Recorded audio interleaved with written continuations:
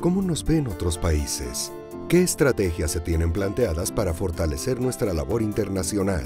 Canal 11 presenta una mesa de reflexión en el marco de la trigésima reunión de embajadores y cónsules sobre el papel de la diplomacia mexicana hoy, con la participación de destacados representantes de nuestro país en el exterior. La presencia de México en el mundo, martes 20 horas. Canal 11, Voz del Politécnico.